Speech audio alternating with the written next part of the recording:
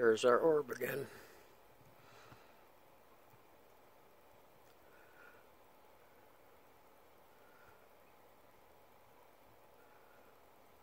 see if I can get a star. Um, right there. You can see that little speck. That's a star. I can't even keep it in line of the camera. But anyways, there's your orb. And there's all kinds of stuff dancing around it, as usual.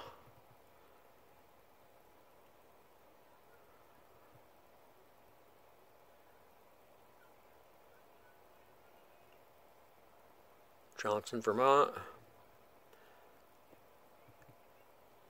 There's a star next to it, actually. Brr.